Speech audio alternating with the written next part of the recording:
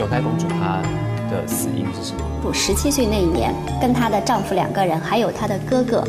懿德太子李重润，呃，由于这三个人都是很年轻嘛，就在私底下议论武则天晚年的私生活，说她奶奶之间，呃，就是一些坏话，被武则天知道以后，将他们三个人就处死在河南洛阳。